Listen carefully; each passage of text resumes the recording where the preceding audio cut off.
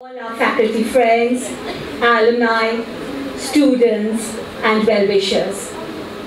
As the president of the JNUTA, I have the honor and privilege of sharing with each of you the JNU Teachers Association's enthusiasm and unwavering commitment to hold up the core values of this glorious academic and research institution to which we all belong, the Jawaharlal Nehru University.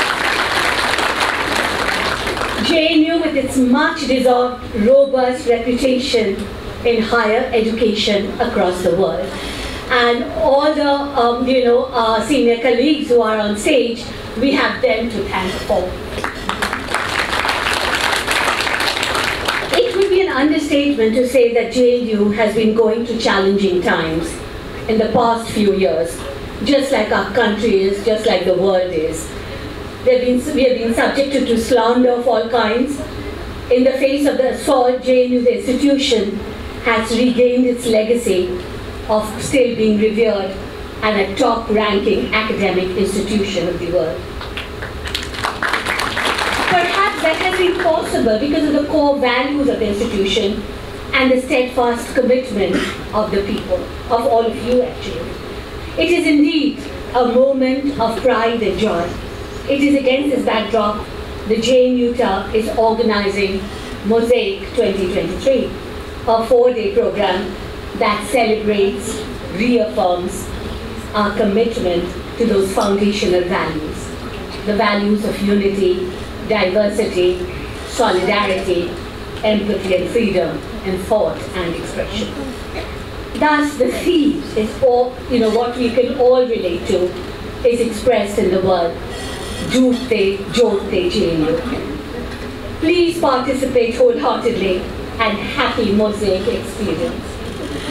So a regular component of Mosaic is this discussion, which we are calling Adda, because we want to give it, you know, a very interactive, and informal sort of a, you know, uh, character. And this is a nest of conversation that will begin at each day of this event. Yesterday, we had an exciting opening Adda on feminist perspectives on home, work and law, organized by my Vice President Ayesha Kidwai. Today we shall revisit the founding aspirations behind JNU's academic ethos and the efforts made over time to shape JNU as an inclusive space of excellence, to see what was achieved and even more, what remains to be done. We could not have hoped for a better panel to address these themes than what we have today. So it is a great pleasure that I welcome Janaki Nair as the moderator for today's panel.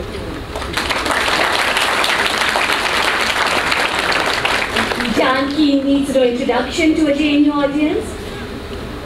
She was, but I do like to use the past tense. She is a professor of history at Jawaharlal Nehru University, India.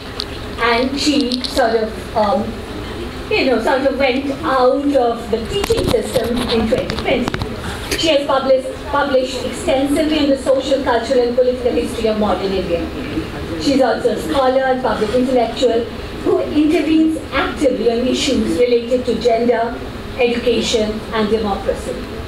Her most recent book publication is an edited volume on common schooling, educational experiments in 20th century India by Orient BlackSwan.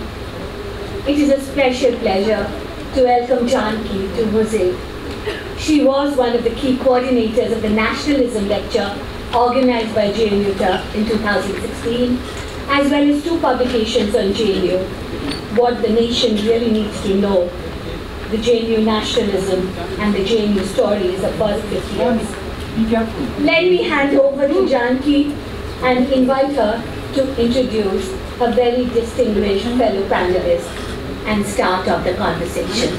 But before I hand over to Janaki, you know, on behalf of JNUTA, we would really like to thank without whom this could not have happened, without whom we could not have done the mobilization, and that is our fabulous team of volunteers.